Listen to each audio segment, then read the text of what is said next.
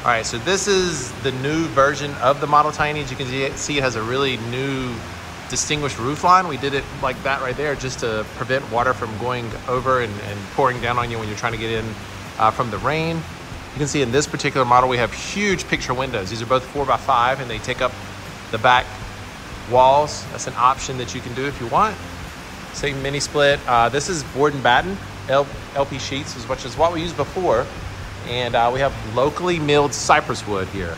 Really cool looking. And one thing we did on the new Model Tiny is we, instead of having the grid uh, door, we added a full on, let me zoom out, a full on glass door, which goes all the way. And we've added different lights. We've kind of changed those. And we've also upgraded from a gray roof line to an actually black roof material, metal.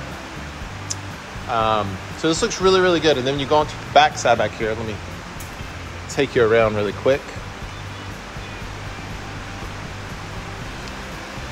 Can see we've upgraded to black windows as well. This particular one has double black windows on the back and then there's a kitchen window. We even uh, looked at like the small things, like the cheek up here, you can see added the cypress as well. It's a nice little feature. But we're gonna do a full-on tour of this later this week. Just want to give you kind of quick sneak peek We'll also do an interior tour as well. Just want to kind of show you that. This is a 24 foot model and um, we're going to be doing 24, 28, and 32 even. So I just want to give you a sneak peek of that.